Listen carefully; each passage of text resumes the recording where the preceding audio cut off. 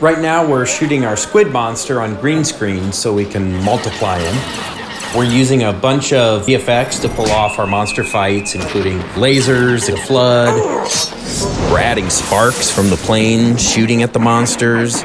We're multiplying characters and changing their colors. We're doing some set extensions too, like adding an ocean next to the miniature city because that's what you always saw in Godzilla movies. And then we figured out a way to include some 60s and 70s stock footage to help us with effects uh, we didn't have the budget to shoot. By adding some color correction and film grain, I think it'll look nice and cheesy when we cut all the footage together, just like the Godzilla movies I loved as a kid.